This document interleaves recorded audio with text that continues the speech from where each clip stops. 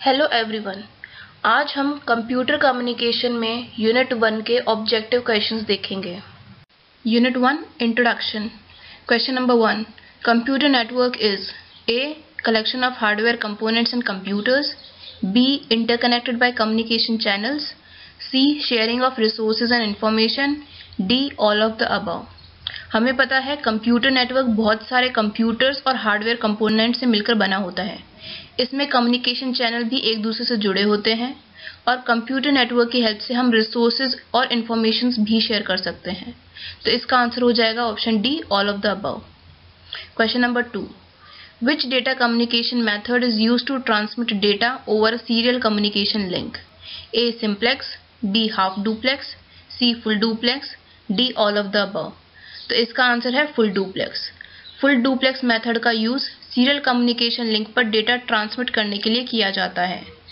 Serial communication link पर data भेजने के लिए दो वायर्स चाहिए होते हैं. इसमें दोनों डिवाइसेस डेटा सेंड भी कर सकती है और रिसीव भी कर सकती है एक ही टाइम पे. इसलिए ये एक बाई डायरेक्शनल सिस्टम भी है. तो इसका आंसर है option C full duplex question number three before data can be transmitted they must be transformed to A periodic signal B electromagnetic signal C aperiodic signal D low frequency sine wave हमें पता है data zero और one के form में होता है। तो सबसे पहले उसे इस फॉर्म में चेंज किया जाता है जो कि ट्रांसमिशन मीडिया एक्सेप्ट कर सके। इसके लिए डेटा को ट्रांसमिट करने से पहले उसे इलेक्ट्रोमैग्नेटिक सिग्नल के फॉर्म में चेंज किया जाता है। तो इसका आंसर है option B, electromagnetic signal. Question number four blanks data are continuous and take continuous values A analog B digital C A और B D none of the above तो डेटा एनालॉग या digital दोनों हो सकते हैं।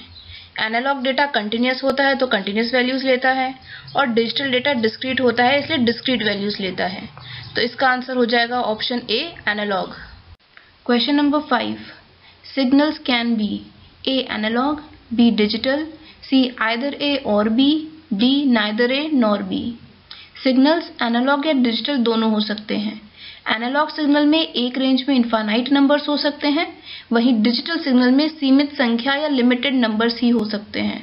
तो इसका आंसर हो जाएगा ऑप्शन सी आइदर ए और B question number six blanks conversion is the process of changing one of the characteristics of an analog signal based on the information in the digital data option A digital to analog B analog to analog C analog to digital D digital to digital तो इसका answer है option A digital to analog conversion इसमें digital data में जो information होती है, उसके base पर एनालॉग सिग्नल की कैरेक्टरिस्टिक्स को बदलने की process digital to analog conversion कहलाती है।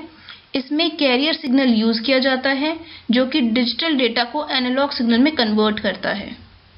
Question number seven telephone is an example of A full duplex B simplex C half duplex D none of the above तो इसका आंसर है ऑप्शन ए फुल डुप्लेक्स क्योंकि telephone में दोनों पक्ष एक साथ बात कर सकते हैं।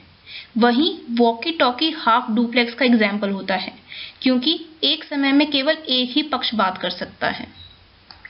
Question number eight the method of communication in which transaction takes place in both the directions but only in one direction at a time is called A simplex B four wire circuit C full duplex D half duplex.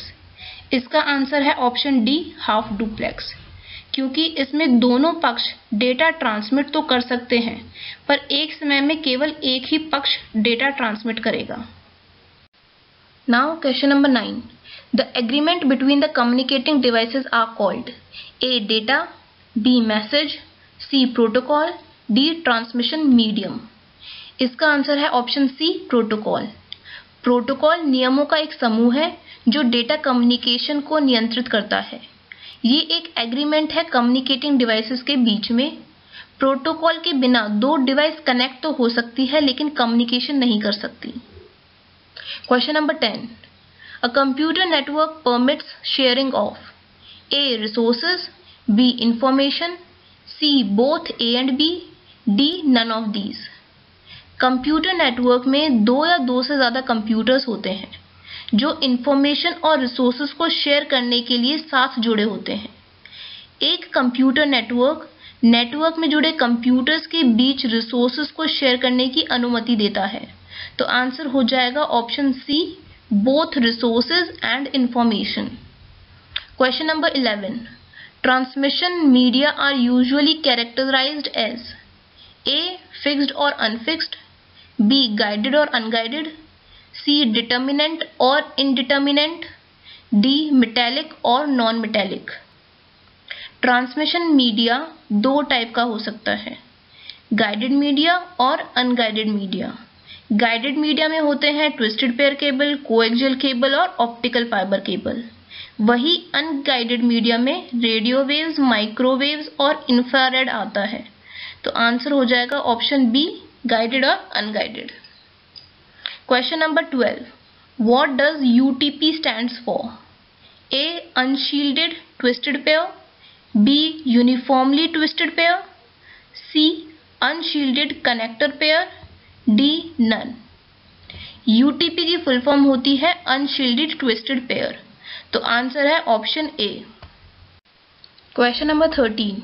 Transmission media lie below the blanks layer A physical B network C transport D application computer में data store होता है in the form of zero and one जो कि ऐसे ही transmit नहीं हो सकता है। इसलिए फ़िज़िकल लेयर इन बिट्स को कन्वर्ट करती है इलेक्ट्रोमैग्नेटिक सिग्नल्स में, जो कि सेंडर और रिसीवर के बीच से प्रोपोगेट हो सकता है। सेंडर और रिसीवर के बीच का ट्रांसमिशन मीडिया केबल या फिर फ्री स्पेस हो सकता है।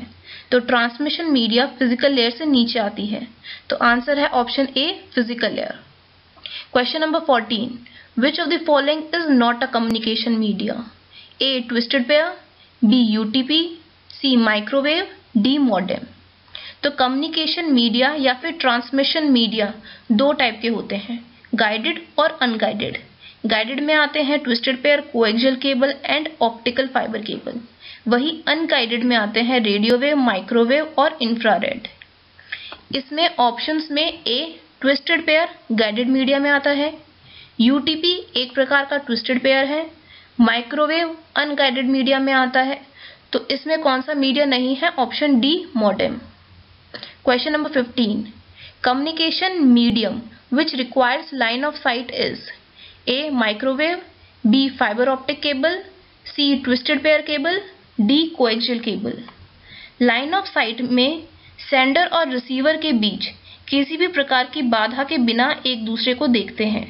Microwave line of sight communication का एग्ज़ाम्पल है तो इसका आंसर हो जाएगा option A microwave question number sixteen the radio waves microwaves and infrared waves are types of A wireless transmission B guided transmission C both A and B D none radio wave microwave and infrared waves unguided transmission media में आते हैं, या फिर इसे कह सकते हैं wireless transmission media तो आंसर है option A wireless transmission question number seventeen cable which is comprised of two separate insulated copper wires that are twisted together is called A. Fibre optics B twisted pair cable C microwave D Coaxial cable twisted pair cable में दो insulated copper wires को एक दूसरे के around twist करते हैं। ऐसा करने से क्रॉसटॉक और इलेक्ट्रोमैग्नेटिक इंडक्शन कम होता है। तो आंसर है option B twisted pair cable question number eighteen blanks consist of a central conductor and a shield A coaxial B fibre optic C twisted pair D none of the above coaxial cable में एक conductor होता है, जो कि insulator या shield से घिरा होता है।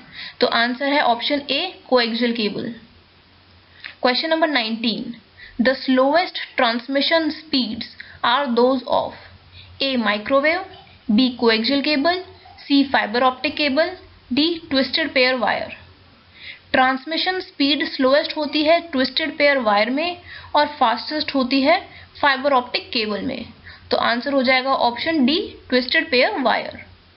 Question number twenty in an optical fibre the inner core is blanks the cladding A denser than B less dense than C the same density as D another name for optical fibre में inner core denser होता है cladding से।